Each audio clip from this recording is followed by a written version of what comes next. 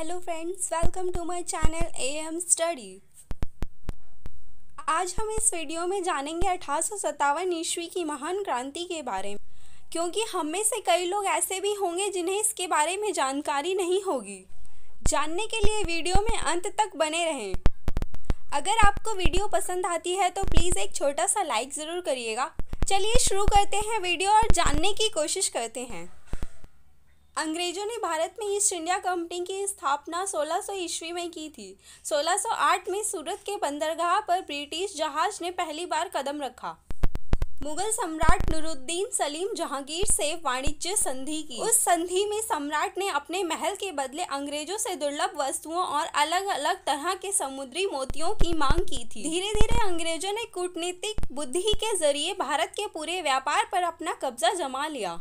अंग्रेज़ों ने देखा भारत में आर्थिक और राजनीतिक तथ्यों की काफ़ी कमी है, तथा उस वक्त भारत के लोगों में आपसी मतभेद काफ़ी ज़्यादा था।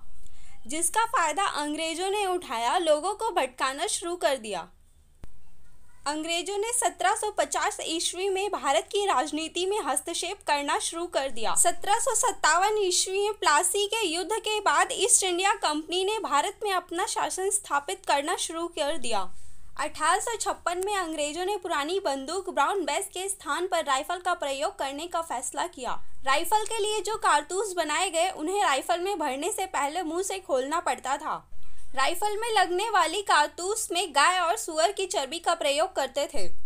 यही गाय और सुअर की चर्बी वाला कारतूस अठारह सौ सत्तावन की क्रांति का प्रमुख कारण बना।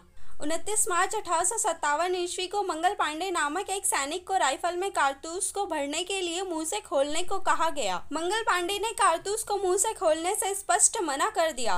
इसके फलस्वरूप मंगल पांडे को गिरफ़्तार कर लिया गया। 8 अप्रैल अठारह को उन्हें फांसी दे दी गई। इसी कारण से अठारह की क्रांति हुई। 10 अप्रैल अठारह सौ सत्तावन के दिन मेरठ की पैदल टुकड़ी से अठारह की क्रांति की शुरुआत हुई। अठारह सौ सत्तावन में मेरठ की भारतीय सेना ने बगावत कर दी। विद्रोह की योजना खुफिया ढंग से बहुत अच्छी तरह बनाई गई थी, लेकिन नियत समय से पहले विस्फोट होने से योजना बिगड़ गई। यह केवल सैनिक विद्रोह से कहीं अधिक था। इसका प्रचार प्रसार बड़ी तेज़ी से हुआ। इसने जन आंदोलन और भारतीय स्वाधीनता की लड़ाई का रूप ले लिया। जन आंदोलन के रूप में यह दिल्ली संयुक्त प्रांत, मध्य भारत के कुछ भागों और बिहार तक सीमित था। मूलतः यह सामंतीय विस्फोट था। विद्रोह ने ब्रिटिश शासन पर दबाव डाला। इस विद्रोह से कुछ श्रेष्ठ नेता उभर कर आए। इसमें सबसे तेजस्वी थे तात्या टोपे, जिन्होंने कई महीनों तक अंग्रेज़ों को परेशान किया। इसके अलावा एक और विशिष्ट नाम, जिसे आज भी हम श्रद्धा पूर्वक स्मरण करते हैं, झांसी की रानी लक्ष्मीबाई का है, जो 20 वर्ष की आयु में लड़ते लड़ते मारी गई।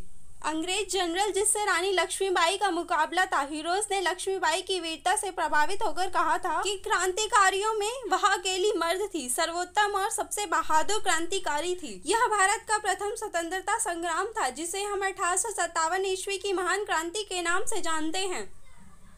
अठारह सौ सत्तावन के विद्रोह के बाद ईस्ट इंडिया कंपनी की भारत से विदाई हो गई। उसके बाद ब्रिटिश क्राउन का भारत पर सीधा नियंत्रण हो गया था, जिसे हम ब्रिटिश राज के नाम से भी जानते हैं। सो so फ्रेंड्स आज की इस वीडियो में तो इतना ही था। वीडियो में अंत तक बने रहने के लिए thank you so much video पसंद आई तो लाइक ज़रूर करिए और अपने ज़्यादा से ज़्यादा दोस्तों के साथ शेयर करिएगा। फ्रेंड्स आपको अठारह सौ सत्तावन की क्रांति के बारे में पहले से पता था या नहीं कमेंट करके ज़रूर बताइए। ऐसी और वीडियो को देखने के लिए चैनल को सब्सक्राइब करना मत भूलिएगा एंड थैंक्स फॉर वॉचिंग